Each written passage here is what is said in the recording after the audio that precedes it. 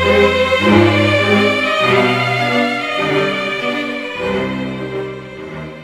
welcome D-Lab everybody. I'm working on another Johnson transmitter, but it's not a Viking 2. This is a rare bird. It's a Johnson Invader 200.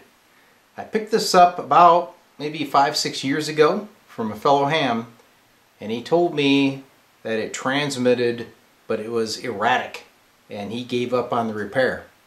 So I picked it up pretty reasonably, and recently I thought, well, I should just get into it, see what's going on, and if I can fix it relatively quick, it'd be a good one to send down the road because I don't have any interest in running it, okay? So I did try to transmit, and what would happen is when I go to manual transmit, it would put out about a 100 watt carrier, but then when I go back to standby, it would latch on. It would not stop transmitting. I suspected maybe a negative bias issue because it got about a uh, negative 140 volts that goes to the final. And that's being switched by the internal TR relay system okay? The relay was actually disengaging yet it was still transmitting. So I thought man something's really strange here okay? So I went around around circles cleaned the contacts on that relay. I really suspected it was that. But it turned out that the driver tube didn't have any B plus going to it. Okay?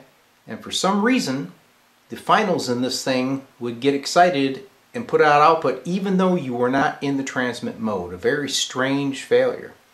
So I got into the area of the driver section and I found this little 5 watt 1K resistor that was open going to the driver tube.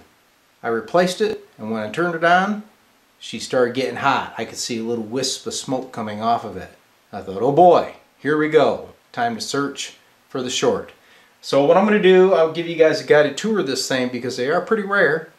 And then I'll show you the area that I'm working in. I plan on just dissecting everything off of that tube socket underneath so I can trace down the short. So let's go. So here is the Johnson Invader 200 transmitter. The bands are 80 through 10 meters. Modes are upper and lower sideband, AM, and CW. I hear they don't do so great on AM, but sideband mode and CW is supposed to be a great machine.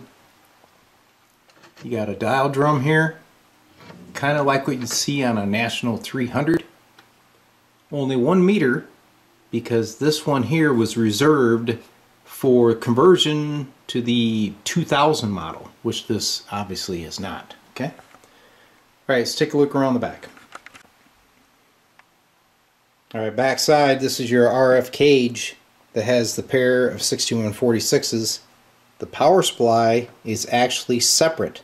So when you remove this, this is where the pair of 4-400 output tubes go for the 2000 upgrade. Alright, so if we swing over here, you can see our tube lineup, and that driver tube that I was telling you about is right there. It's a 12BY7 and she's really running toasty hot. I read some articles that a lot of guys say get that shield off of there and pitch it to help cool that tube down.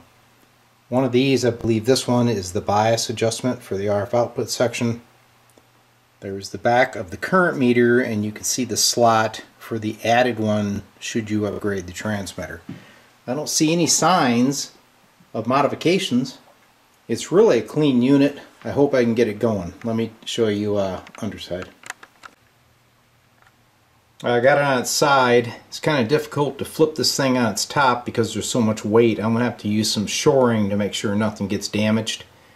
But the power supply caps have been replaced. I did change this one down here which is a dual can type. It's a dual 40 microfarad at 450 but the rest of these are already in place. So if we swing up here to this middle cavity, the resistor that I changed right there. So under the shaft, get some lighting in here. Right down there is the base of the 12BY7 tube. So somewhere in this area, there must be a short. We'll take a look at the schematic here in a minute. We can see if we can narrow it down. There is that four pole TR relay. And you can see the contacts are really close on this thing. But they are engaging and disengaging just fine. There are still some older electrolytic caps up in this area, but I don't think they have anything to do with this issue. So right now, let's just concentrate on the driver tube. So I'm going to remove this shaft so I can get access. And what I plan to do is lift the 1K resistor and there's a 10K resistor underneath of it. I'm going to get those up out of the way and measure the resistance to ground. I did already check it and there is not a direct short but there is a low resistance path. Well real quick let me show you the resistance on the other side of the 1K resistor. Okay, so this is feeding the plate of the 12BY7.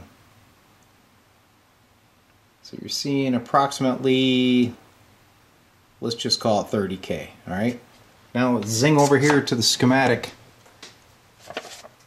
There is the 1K resistor, okay? We just measured right there and saw 30K, all right? So if you follow this line, it goes through a 10K resistor and that goes to the screen of the 12BY7 and then there's another resistor which is 39K to ground. So I would expect at this point to see approximately 50K. So something is interfering and that something might be this cap or this cap might be shorted. That's what I'm hoping. This line also takes off and goes up here to part of the band switch I believe but everything's capacitors there so I don't suspect the problem is in this area I suspect it's down here but the only way to know is to lift the components and see where the low resistance path is so as usual here's that 10k resistor right on the money here's the 39k same deal. Here's that disc cap that was tied to the same point. Also noticed when I got in here that all these parts were tagged on to the tube socket. So somebody's already been going down this path. Okay. So there's something else on that line that's pulling the power supply down. This is really going to get good. So I've been buzzing out this thing. I found one area of question and that is C82 I believe this is the neutralization cap if I measure across it I am seeing just under 2 k ohms looking at the schematic there's nothing in line with this variable cap that could give it that low of resistance I have no idea where this 2k is coming from I did notice something on a coil assembly here. Let me zoom in on it, show you what's going on. Obviously some things went wild in this invader. I'm not sure if it's going to be an easy fix. So one thing I forgot to tell you is this 1K resistor, when I got it, had a crack through it and you could see it, it had been arcing. But if you look at this coil down below, you'll see that the windings have really been heating. So at this point, I've checked these mica caps. None of them appear shorted. So I'm going to go topside and take a look under that RF cage and see if we got something goofy going on. It looks like maybe some bias is getting back in through the neutralization circuit and making that driver tube go wild. All right, I give. I guess I need to phone a friend. If anybody out there knows anything about these Invader 200 transmitters, get a hold of me. I've checked everything. The uh, 2K that I saw across that cap is because of other components. I found that there was 1K and some other miscellaneous things that would add up to that resistance, so that's not a problem but I've spent too much time on it and hopefully there's somebody out there that's had this issue before and you can give me some pointers. So I give. Email me. shoot me a message. Help.